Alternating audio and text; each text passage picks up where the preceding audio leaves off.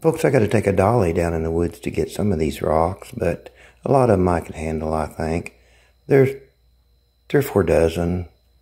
Uh, I moved a lot of them over out of the way where I was going to mow through there, but I never got down there and mowed. but the most important thing I find about these stones that I'm looking for is that they're absolutely soft all over. There is no sharp edges anywhere. And sorry.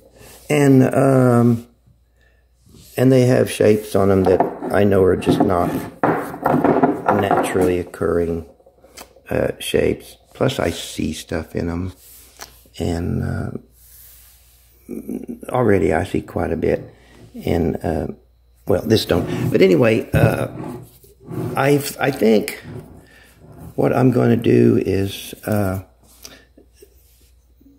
make a a video for each one so it could go on record showing that this is a before before I clean it. Uh, I don't know. I just feel like it's important that some of these just go from uh, start to finish and uh, I don't know, proof or whatever. I don't know, dear. I mean, uh, that's what I'm doing. And I, uh, I'm going to try to get a 30 minute video a month.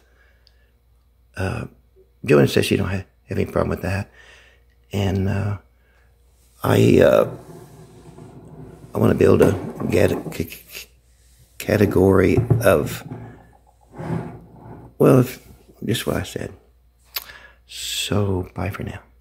What I'm trying to say is that I will no longer, for a while anyway, be concentrating on the smaller stones.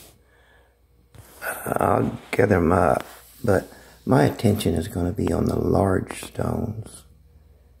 And um, this could be, well, I don't know, but my I'm going to work on the large stones for a while. I guess you could call this my season three. And there's so many of these rascals, and I do not think that it will be disappointing. And it's um, it's not that I was getting tired of the little ones. It's just I like things different now and then. You know, I just and I think this is something that really needs my attention.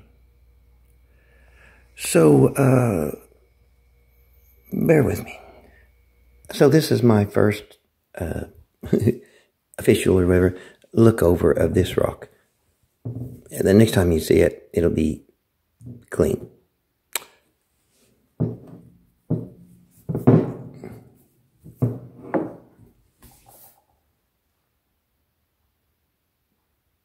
You set the phone down. Okay, that's better. I thought.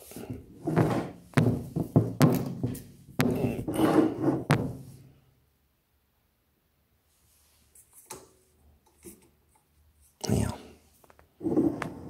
I'll learn to do this better as time goes by.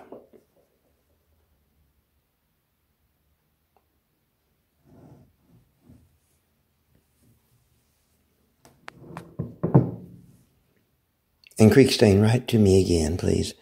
you said that you took a couple of rocks, cleaned them real well, and you regretted the dickens out of it. So I challenge you, Creek.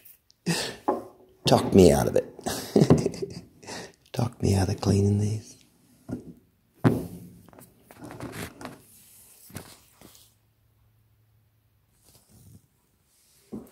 But I doubt that you can. But that's okay. I want to hear everybody's thoughts on this. I don't care how goofy it sounds to you or me. I want to hear your thoughts on it.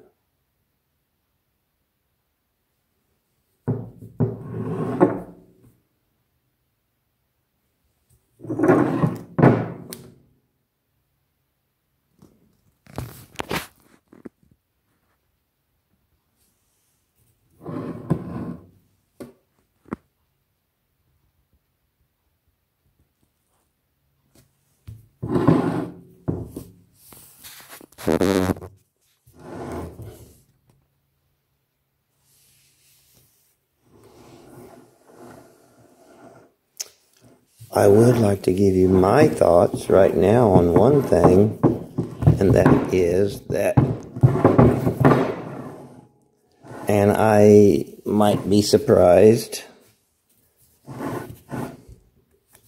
Well, I, whatever. Um, Anyway, I saw a really neat horse in there. I mean, but I don't see it now. I really don't. I turned it over a couple of times, so I don't know what's what here. Um, where did I see it? I thought I saw it. anyway, that's not important. Um, okay. Like I said, I will do them each rock better. Uh, but this is this is on my table right now, and I want to. I did it, and then, um, uh, well, okay. Oh, by the by, before I get to play in this toy box, I get to play in this toy box. Customer sent this for emergency repair.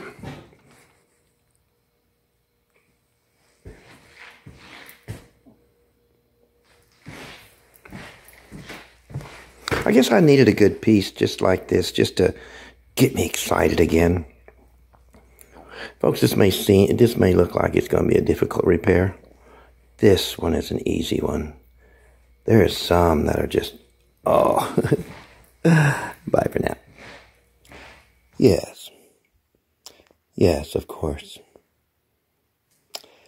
Most of these shells have to go back into the pottery shop. Yes. Of course. Mr. Ed was a horse.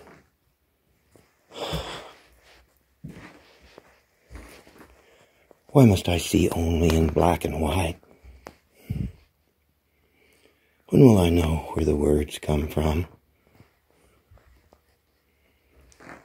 Why am I so ordinary? Why do I see things? Why am I compelled to say things?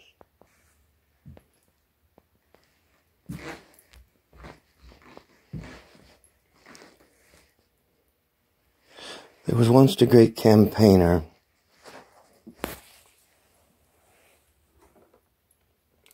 A leader of men.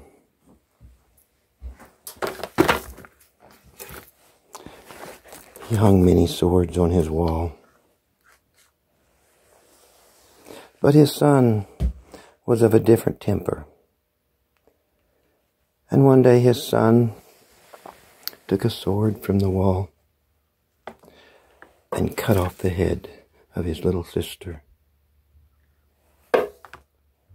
Those are my thoughts, folks, on the need of gun control.